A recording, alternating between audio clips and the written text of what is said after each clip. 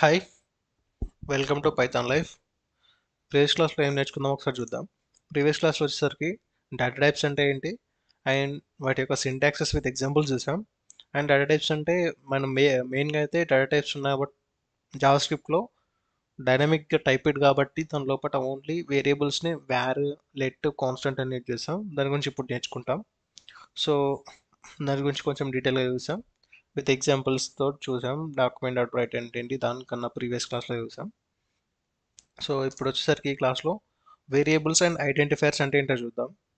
So first identifiers అంటే ఏంటి వాటిని ఎందుకు యూజ్ చేసాం వాటి నెసెసరీ ఏంటి అని ఆ తర్వాత వేరియబుల్స్ అంటే ఏంటో చూద్దాం. So first identifiers so identifiers అంటే all JavaScript variables functions methods must be identified with unique names. These unique names are called identifiers so ప్రతి జావాస్క్రిప్ట్ యొక్క వేరియబుల్స్ కానీ మెథడ్స్ కానీ ఫంక్షనాలిటీస్ ఏవైతే రాస్తామో వాటి అవన్నీ కూడా నేమ్స్ అనేవి యూనిక్గా ఉండాలి. ఎందుకు అని అంటే మనం ఒక ఫంక్షన్కి కాల్ చేసినప్పుడు మనకు దానికి రిలేటెడ్ ఫంక్షన్ మాత్రం అంటే ఇప్పుడు లైక్ ఒక అడిషన్ రాసామనుకోండి ఒక అడిషన్కి కావాల్సిన కోడ్ రాసిన తర్వాత అడిషన్కి కావాల్సిన ఫంక్షన్ కాల్ చేసినప్పుడు అడిషన్ ఫంక్షనాలిటీ మాత్రమే కాల్ కావాలి. ఒకవేళ మనం టూ నేమ్స్ టూ ఫంక్షనాలిటీస్కి టూ నేమ్స్కి సేమ్ నేమ్ ఇచ్చామనుకోండి అప్పుడు ఏమవుతుంది? ఒక్కొక్కటి కాల్ కావాల్సింది ఇంకోటి కాల్ అవుతుంది. సో ఇలాంటప్పుడు పాలిమాఫిజం రన్ అవుతుంది. పాలిమాఫిజం అంటే ఏంటో తర్వాత చూద్దాం. పాలిమాఫిజం వద్దు కానీ. సో మెయిన్ ఏమవుతుంది అని అంటే కంపైలర్ జావా స్క్రిప్ట్ ఇంజిన్ అనేది కన్ఫ్యూజ్ అవుతుంది అనమాట అంటే రెండు సేమ్ నేమ్ తోటి ఉన్నప్పుడు ఇది దేన్ని ఎగ్జిక్యూట్ చేయాలని చెప్పి తెలియదు అలాంటప్పుడు మనకి ఎర్రర్స్ వస్తాయి. సో వాటిని తీసేసి అలాంటివి రాకుండడానికి ఐడెంటిఫైయర్స్ అనే ఒక కాన్సెప్ట్ వచ్చింది. దీనివల్ల కొన్ని రూల్స్ పెడతాం అనమాట దానికి ఎలాంటి నేమ్ ఇవ్వాలి వేరియబుల్స్కి ఎలాంటి నేమ్స్ ఇవ్వాలి దాని యొక్క రూల్స్ అనేవి కొన్ని ఉంటాయి. దాని గురించి చూద్దాం. These unique names are called identifiers so ఇలాంటి యూనిక్ నేమ్స్ ఇవ్వడానికి ఐడెంటిఫైయర్స్ని యూజ్ చేస్తాం.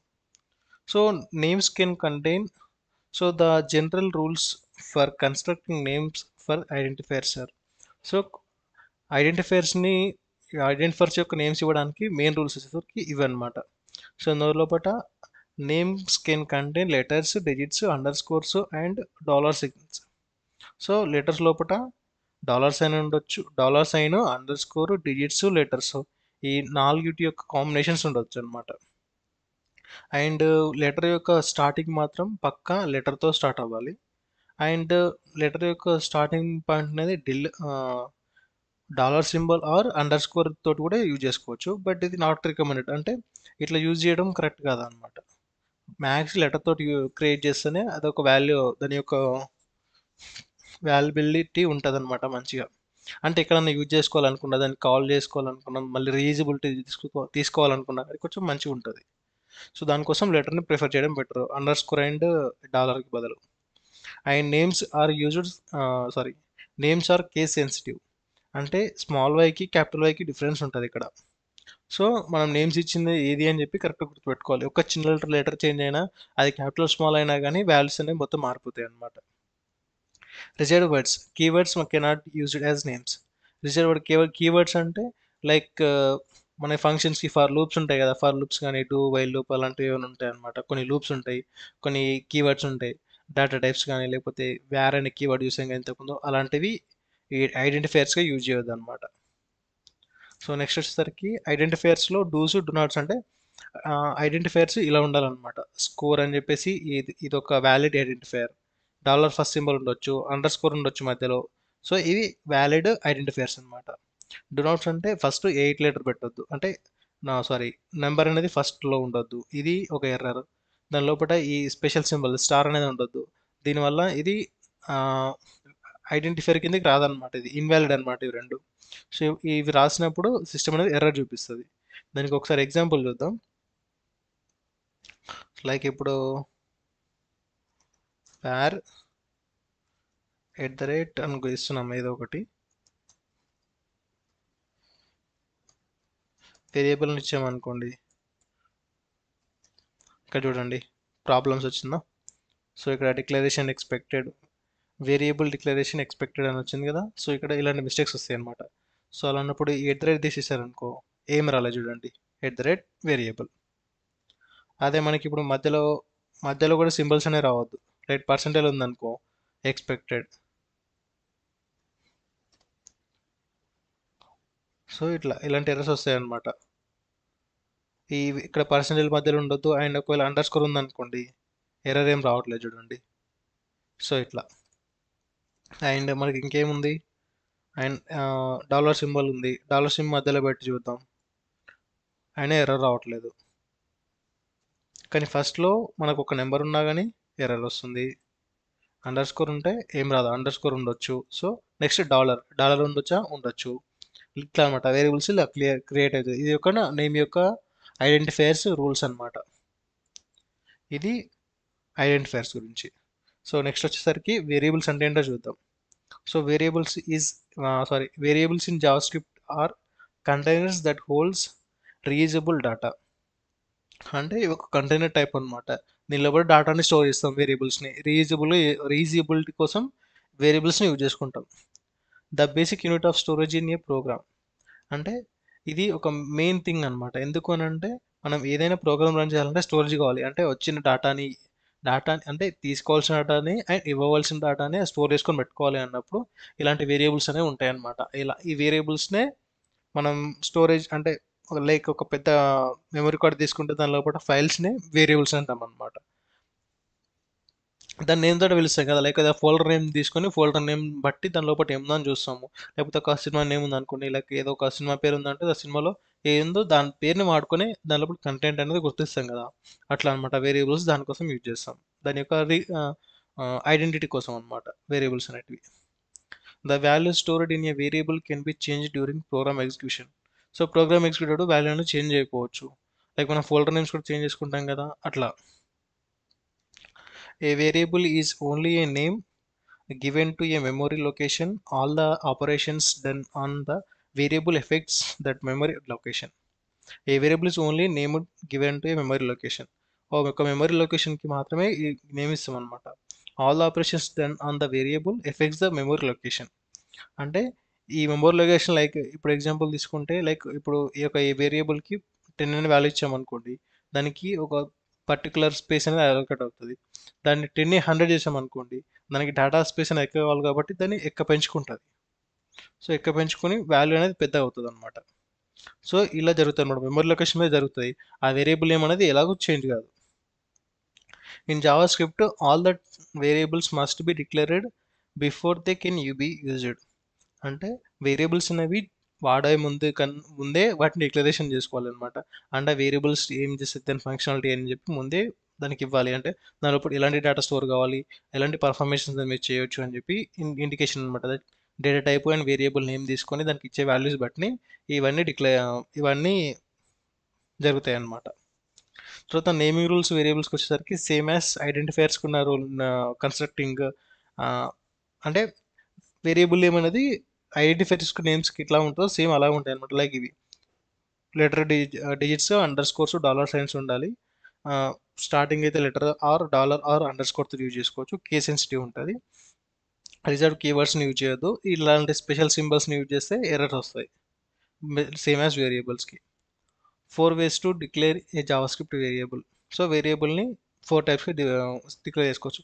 ఇంతకు క్లాస్లో మనం జస్ట్ వ్యార్ అంటేనే మాత్రమే చూసాం. So var let constant and using nothing ఈ నాలుగు విధాలుగా వేరియబుల్స్ని డిక్లేర్ చేసుకోవచ్చు. Always declare JavaScript variables with var let or constant so ఈ నాలుగుని sorry variable var let or constant use చేసుకుని మాత్రమే డిక్లేర్ చేయడం అనేది గుడ్ ప్రాక్టీస్ అనమాట అంటే గుడ్ ప్రోగ్రామింగ్గా జరగా ప్రోగ్రామర్లు కావాలి అనుకుంటే ఆ వ్యార్ లెట్ కాన్స్టెంట్ యూజ్ చేసుకుంటే బెటర్ అనమాట యూజింగ్ నథింగ్ అంటే ఏమి యూజ్ చేయకుండా జస్ట్ వేరియబుల్ ఏమి చేసుకుంటే వెళ్ళిపోతే అది చూడడానికి బాగుంటుంది అనమాట తర్వాత మనకి అర్థం కాదు ఎందుకు యూజ్ చేస్తున్నాం ఏది అని. So var keyword is used in all JavaScript code from nineteen ninety five to two thousand fifteen. So nineteen ninety five నుంచి two thousand fifteen. Almost twenty years వరకు వ్యార్ కీవర్డ్ని యూజ్ చేస్తాం అనమాట మొత్తానికి. బట్ టూ థౌజండ్ ఫిఫ్టీన్లో let and constant keywords అని add చేశారు అనమాట సో ఇన్ని కన్నా వే ఉన్నాయి కదా దీని యొక్క డిఫరెన్స్ ఏంటంటే ఏం లేదు. జస్ట్ కాన్స్టెంట్ అంటే అది constant keyword like ten twenty అట్లా అనమాట వేరే లెట్ అనేది సేమ్ ఉంటుంది. ఏమి ఇచ్చినా తీసుకుంటుంది. లైక్ బూలియనా స్క్రిప్ట్ కాన్స్టెంటా లేకపోతే ఏదైనా టెక్స్టా లేకపోతే నెంబర్ అనేది తీసుకుంటుంది. బట్ ఇలాంటి ఈ త్రీ టైప్స్ ఆఫ్ డేటా టైప్స్ని ఎలా డేటా టైప్స్ అనుకోవచ్చు వాటిని. సో ఆ డేటా టైప్స్ని ఎలా యూజ్ చేసుకోవాలి అని అనుకుంటే ఎక్కడెక్కడ యూజ్ చేయాలనుకుంటే when to use JavaScript var and constant let అంటే if you want your code to run in older browsers you must use var అంటే పాత బ్రౌజర్స్ అంటే ఓల్డ్ వర్షన్ ఉన్న బ్రౌ బ్రౌజర్స్లో మీ కోడ్ రన్ కావాలి అని అంటే వేర్ కీవర్డ్ యూజ్ చేసుకోవాలి. If you want to general rule always declare variables with constant C O N S T దీంతో use చేసుకోవచ్చు అనమాట జనరల్గా వాడుకోవాలనుకుంటే. Constant values cannot be changed so ఈ కాన్స్టెంట్ కీవర్డ్ యూజ్ చేసి రాసిన వాల్యూస్ అనేవి చేంజ్ కావన్నమాట. దీని గురించి కూడా ఒకసారి చూద్దాం. ఎగ్జాంపుల్ చూపిస్తాం. If you think the value of the variable can change use let ఒకవేళ వ్యారీ వేరియబుల్ యొక్క వాల్యూ చేంజ్ అవుతుంది అని అనుకుంటే లెట్ యూజ్ చేసుకోవడం బెటర్ అనమాట అంటే వ్యార్ అనేది ఈ వ్యార్ కీవర్డ్ అనమాట వేరియబుల్ అంటలేదు ఇక్కడ వ్యార్ ఉంది కదా. సో ఈ వ్యార్ ఉన్న ఈ వ్యార్ కీవర్డ్ అండ్ ఈ లెట్ కీవర్డ్ అనేది రెండు సేమ్ బట్ లెట్ అనేది కొత్తది వ్యార్ అనేది కొత్తది అనమాట సో జావాస్క్రిప్ట్ వేరియబుల్ యొక్క డిక్లరేషన్ అనేది ఈ విధంగా జరుగుతుంది సింటాక్స్ అనేది. వ్యారు అంటే డేటా టైప్ అనుకోండి తర్వాత వేరియబుల్ నేము తర్వాత సెమికాలర్ ఈ లెట్ కాన్స్టెంట్ కూడా మూడు అంతే ఉంటాయి. అండ్ ఇన్షియలైజేషన్ వచ్చేసరికి variable name equal to value ఇవ్వచ్చు. Variable name equal to value. Constant variable name equal to value. అంటే ఈ వేరియబుల్ నేమ్ కన్నా ముందు ఈ లెట్ కానీ ఇవి కూడా పెట్టచ్చు అనమాట లైక్ ఈ constant variable name equal to value ఉందా? ఇలా ఇవ్వచ్చు.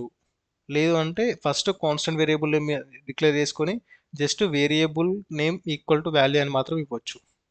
టూ టైప్స్లో ఇవ్వచ్చు అనమాట డిక్లరేషన్ ఒకసారి ఇన్సలేషన్ ఒకసారి చేయొచ్చు. డిక్లరేషన్ ఇన్సలేషన్ రెండు కలిపి ఒక ఒకటేసారి చేయొచ్చు. దాని ఎగ్జాంపుల్స్ వచ్చేసరికి ఇలా అనమాట var a equal to ten b equal to JS constant c equal to four five point two three ఇదనమాట వేరియబుల్స్లో and variables can be declare many variables in one statements start the statement with let var constant and separate the variables by comma example ఏంటి అని అంటే ఒకటే లైన్లో మనం multiple వేరియబుల్స్ని declare చేసుకోవచ్చు. అండ్ వాల్యూస్ కూడా అసైన్ చేసుకోవచ్చు లైక్ ఇట్లా అనమాట లెట్ అని ఒక పదం ఇచ్చేసి అంటే ఒక కీవర్డ్ ఇచ్చేసి person equal Ram car name equal Tata price equal to two thousand ఇట్లా ఇవ్వచ్చు అనమాట వాల్యూస్ అనేటివి అండ్ దాని యొక్క వేరియబుల్ లిస్ట్లో ఒకటేసారి డిక్లేర్ చేసుకోవచ్చు. ఒకటే లైన్లో మల్టిపుల్ యూజ్ చేసుకోవచ్చు లెట్ అని ఒకటే ప్లేస్లో యూజ్ చేసుకొని. సో దీనికి ఒకసారి చిన్న ఎగ్జాంపుల్ చూద్దాం.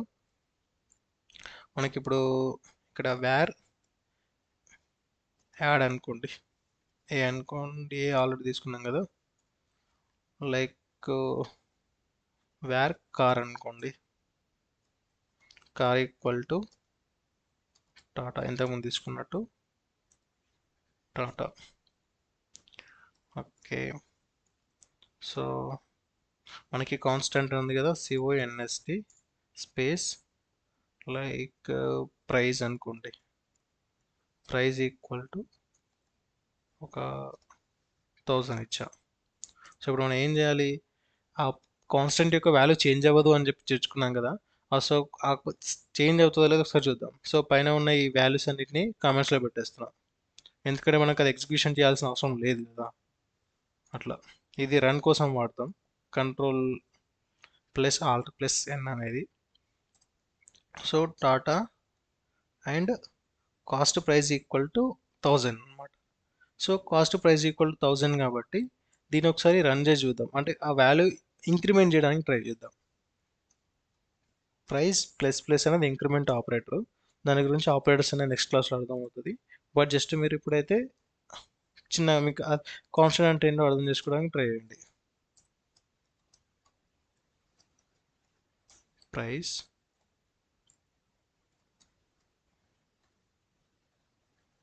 ఇక్కడ ఎర్రర్ వచ్చింది. సో ఇక్కడ ప్రైస్ ప్లస్ ప్లస్ అని వచ్చింది కదా. సో ఇక్కడ ఎర్రర్ వచ్చింది అనమాట కాన్స్టెంట్ వేరియబుల్కి అసైన్మెంట్ అనేది జరగదు అని అర్థం అనమాట అక్కడ. ఆ ప్రైస్ యొక్క అది కాన్స్టెంట్ కాబట్టి అక్కడ ఎగ్జిక్యూషన్ అనేది అవ్వలేదు అనమాట దాని వాల్యూ అనేది చేంజ్ కాదనమాట ఫస్ట్ మళ్ళీ నీకు చేంజ్ చేయాలనుకుంటే ఇక్కడ వచ్చి మాత్రమే చేంజ్ చేయాలి. ప్రోగ్రామ్ రన్ చేసేటప్పుడు కానీ ఎక్కడైనా యాడిషన్స్ సబ్స్క్రిప్షన్ చేసేటప్పుడు దాని వాల్యూ అనేది చేంజ్ కాదనమాట ఇప్పుడు కాన్స్టెంట్ ప్లేస్లో లెట్ లెట్ అని అనుకోండి తీసుకుంటున్నాను అనుకోండి. ఇప్పుడు మళ్ళీ ఒకసారి రన్ చేస్తున్నా. సేవ్ చేసా control alt N control S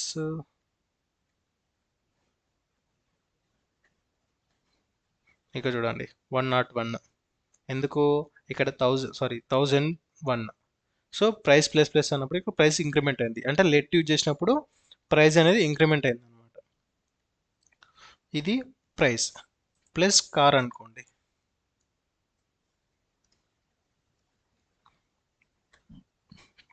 One not one sorry one thousand one Tata so ఇట్లా వాల్యూస్ అనేవి ఇంక్రిమెంట్ సారీ యాడిషన్ కానీ ఇంకా వేరే క్యాల్కులేషన్స్ అనేవి జరుగుతాయి అన్నమాట.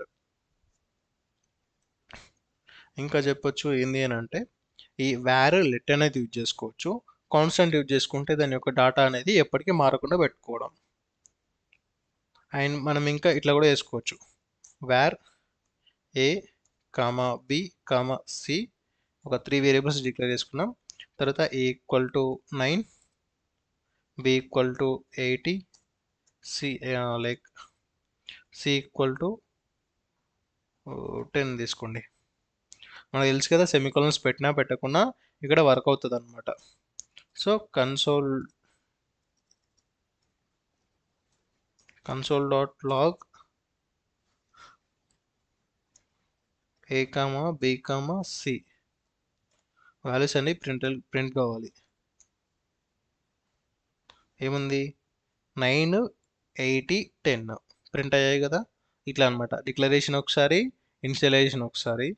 అండ్ ఇక్కడ installation declaration. Var car equal Tata అని చెప్పి చేసాం కదా? సో ఈ టూ టైప్స్గా డిక్లరేషన్ ఇన్స్టలేషన్ ఒకటేసారి ఇన్స్టలేషన్ ఒకసారి డిక్లరేషన్ ఒకసారి కూడా చేసుకోవచ్చు అనమాట ఇలా వేరియబుల్స్ యొక్క మల్టిపుల్ టైప్స్గా చేసుకోవచ్చు. ఇది వేరియబుల్స్ గురించి. సో నెక్స్ట్ క్లాస్లో వచ్చేసరికి ఆపరేటర్స్ అంటే ఏంటి? దాని యొక్క ఎగ్జాంపుల్స్ విత్ సింటాక్సెస్ చూద్దాం. అండ్ కొన్ని ఆపరేషన్స్ ఎలా చేస్తాము అని చెప్పి కూడా క్లియర్గా చూద్దాం. అందరికీ హ్యాపీ లర్నింగ్. Thank you